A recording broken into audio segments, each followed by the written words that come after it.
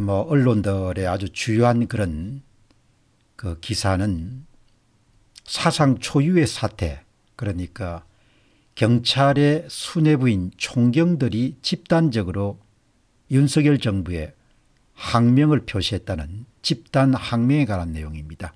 뭐 그것이 이제 오늘 대부분 신문들의 아주 탑 기사이고 후속 기사들도 계속 이어지는 그런 상황이기 때문에 그 문제의 시시비비를 우선 확실하게 가려보는 것이 굉장히 중요하겠다 이렇게 봅니다. 경찰 총경들 집단 항명 행정부에 의한 경찰 통제를 거부하는 것일까 그리고 이제 오늘 중후반부에는 4.15 총선 대전 광역시 관련 분석 결과를 여러분들에게 인천광역시 서울 특별시에 의해서 오늘 보내드리도록 그렇게 하겠습니다. 여러분 이 원칙적으로 우리가 이해하는 것은 뭐 오늘 이 방송을 들으신 분 가운데 이제 경찰 관계자들은 조금 다른 의견을 가지실 분도 계시겠지만 대개 이제 권력기관에 속하는 경찰과 검찰은 누군가 통제를 해야 됩니다. 그럼 통제 주체가 누구인가? 검찰에 대한 통제는 여러분도 잘 아시다시피 법무부가 합니다. 법무부가. 예. 법무부 장관이 경찰총장에 대한 그런 통제권을 갖고 있고 그럼 경찰을 누가 하느냐?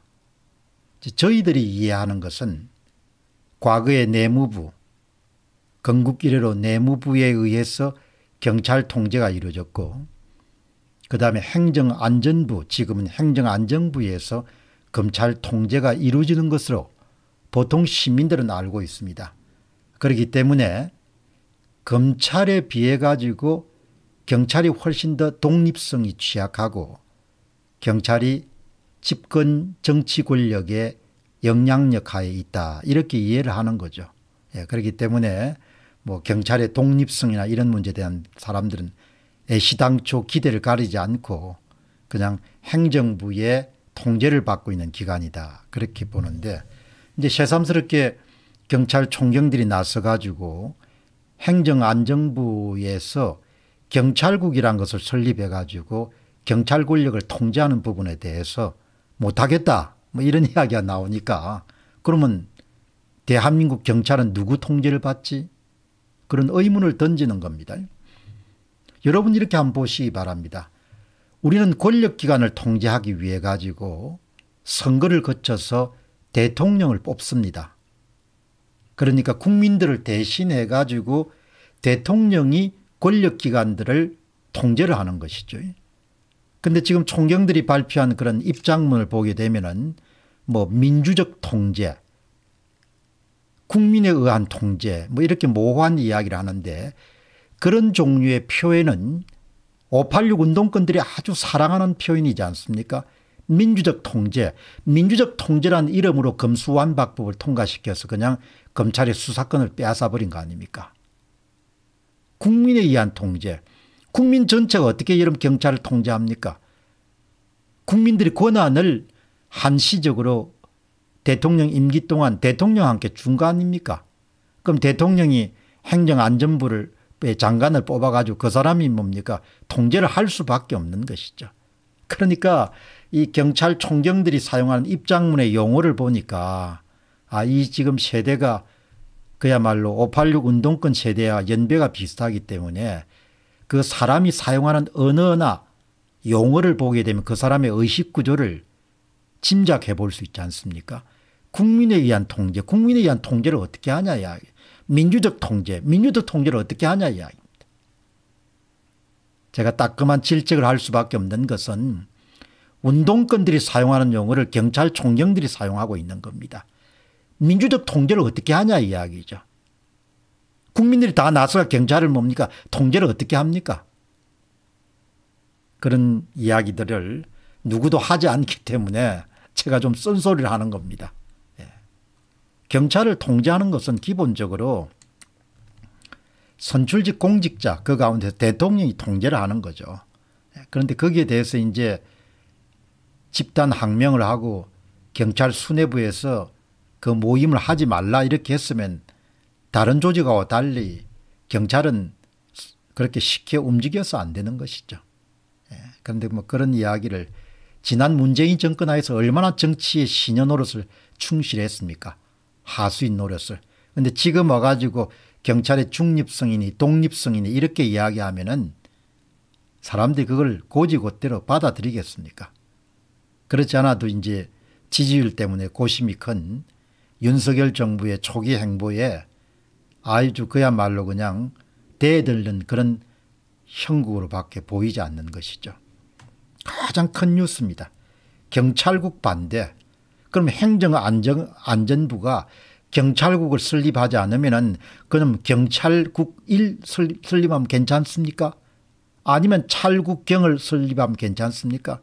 경찰국을 설립하든 안 하든 그것은 예, 선출직 공직자로서 국민들에게 권한을 위임받은 대통령의 권한 가운데 하나인 거죠. 이름을 뭐라고 붙여지든 간에 경찰 권력을 통제할 수 있는 부서가 있어야 될 거 아닙니까 전국 서장회의 주도한 류삼영 총경 대기 발령 경찰 지휘부가 행정안전부 경찰국 신설에 반대하여 전국 경찰수장 회의를 주도한 류삼영 총경을 대리 발령했다. 뭐 제가 볼때 아주 간단하게 보면은 항명이죠 항명. 예. 정권 쪽에 항명을 하는 겁니다. 옳은 일은 아니죠. 경찰청 전국경찰수장회의 참석자 음정 조치 복무규정 위반 검토 경찰서장들 경찰국 신설은 역사적 태형 절차 보류해 왜 이게 역사적 태형인지를 저는 잘 모르겠습니다. 물론 경찰 내부에서 행정부의 과도한 그런 개입 때문에 그동안 뭐 문제가 있었다 이렇게 아마 인식을 안 하겠습니까 문정권 하에서 뭐 재인 산성도 쌓고 얼마나 뭐 엉망진창이었습니까? 예. 그런데 경찰국 신설이 역사적 태행이다. 뭐 자유당 정권 이래로 항상 권력을 충실히 뒷받침하는 기관으로 경찰이 활동을 해왔지 않습니까?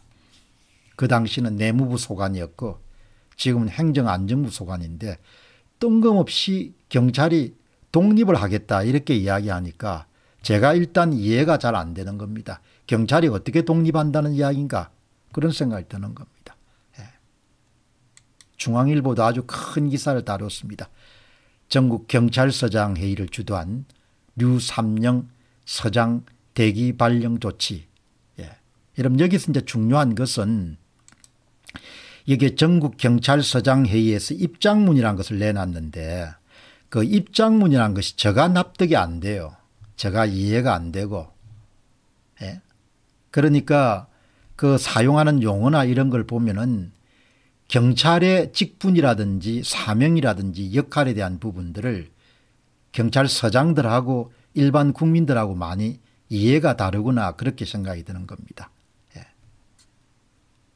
동아일보도 마찬가지입니다. 큰 기사들이 대부분 오늘 일면 기사들이 전국 경찰서장에 의해서 그냥 반발했다 이런 이야기가 나오기 때문에 특히 이제 집권 초기고 그 다음에 또 지지율 문제 때문에 고심하고 있는 윤석열 정부로서는 이제 여기서 밀리게 되면은 뭐 통솔할 수가 없는 거죠. 그러니까 뭐몇 사람 등도 옷을 벗기든지 할 수밖에 없겠습니까? 그리고 국민들 가운데 상당수는 그렇게 좀 강단 있는 대통령을 원할 거고 너무나 물렁물렁하니까 예. 뭐 여러분 여기서 이제 제 방송은 뭐 누구의 이익을 고려하지 않고 제가 생각할 때 경찰 권력이든 검찰 권력이든 간에 대통령의 통제를 받아야 되지 않습니까 행정부 수장에 그래서 행정부 수장한테 국민들이 선출을 통, 직 공무원으로서 최고 권력을 준 거 아닙니까? 그럼 대통령이 직접 경찰을 통제할 수 없으니까 당연히 산하의 행정안정부 장관을 통해 가지고 경찰을 통제하고 관리할 수 있는 그런 방법을 모색하는 것이고 그 과정 가운데 행정안정부 산하의 경찰국이라는 걸 신설하는 모양이죠. 그 전까지는 어떻게 했는지 모르겠지만 그 전에야 뭐 청와대에서 대부분 뭐 치안 무슨 보좌관인가 하는 사람들이 다 인사도 갔냐고 그랬지 않습니까?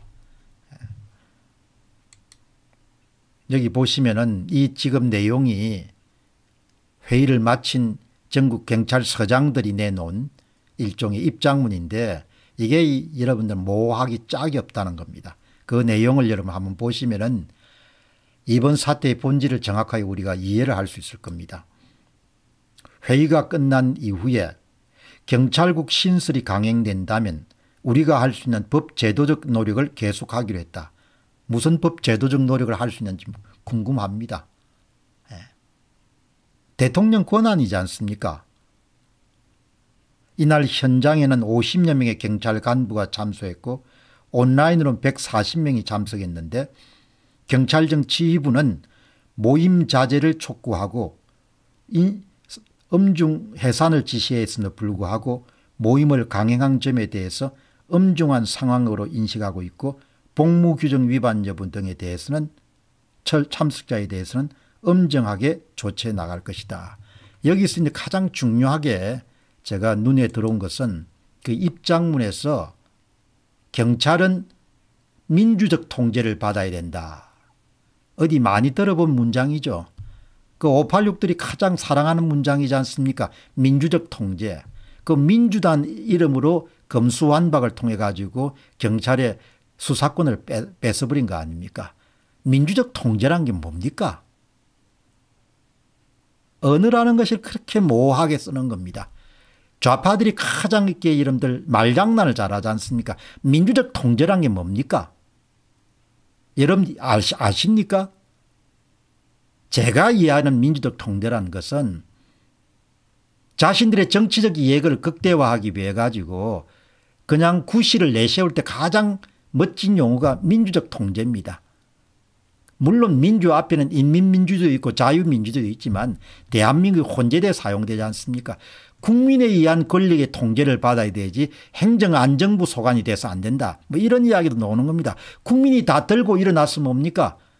먹고 사는 문제를 제쳐놓고 경찰 통제할 겁니까? 그러니까 장난이라는 것이 너무 심한 겁니다.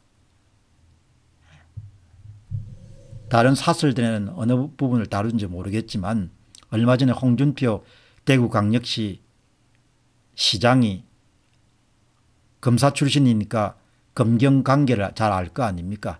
세상에 경찰이 통제받지 않는 경찰이 어디 있나 이렇게 우회적으로 완곡하게 표현했는데 저는 좀 직설적으로 이야기할 수 있는 거죠. 대통령의 여러분들 권한 하에서 통제받지 않는 경찰이란 것이 얼마나 겁난 권력이 될 수 있겠습니까? 물론 경찰국을 설립하는 문제는 뭐 실무적인 차원에서 뭔가 뭐 약간 갈등이 있겠죠. 그러나 행정안정부의 지위를 받지 않겠다. 그건 말이 안 되는 거죠. 예. 그게 뭐 세상에 이렇게 뭐가 경찰총장 총경까지도 이렇게 하면 어떻게 합니까?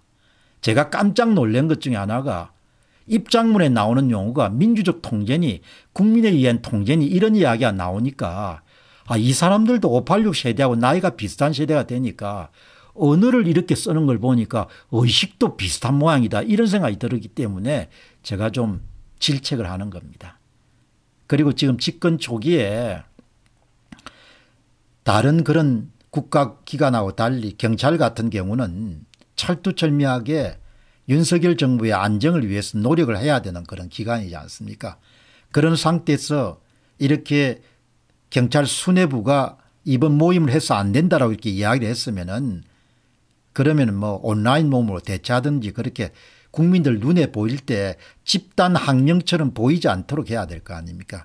나이들이 지금 뭐 서너 살 되는 사람들도 아니고 5, 50세 대부분 경찰대 출신들이 많을 건데 그런 사람들이 지금 정권 초기에 그렇지 않아도 이제 분란이 많아가 지금 뭐 말들이 많은데 이런 상태에서 경찰까지 나서 가지고 경찰의 수뇌부의 요구를 물시하고 이렇게 하면은 그러면은 국민들이 당장 집단 항명으로 받아들일 거 아닙니까? 대통령을 물러보고 선관위가 부정선거를 하더만은 이제 경찰까지 대통령을 물러보고 저렇게 하는 모양이다. 그런 정도의 정무적 판단을 못하냐 이야기죠. 경찰서장들이 된 사람들이. 지금 이 부분에 대해서 경찰편은 거의 없습니다. 대한민국 국민들이 경찰에 대해서 그렇게 우호적이지 않지만 물론 야근하면서 고생하는 사람들 압니다.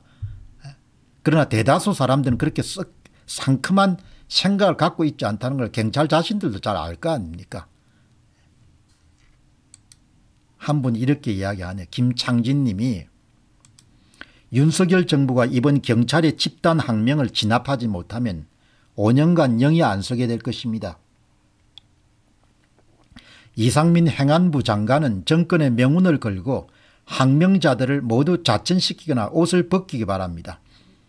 문재인 밑에서 경찰이라는 말을 들으면서 충성을 다하던 경찰이 우파 정권이 들어서자 조직적으로 하극상을 벌리는 게 문제가 심각합니다. 이런 이야기가 튀어나온단 말이죠.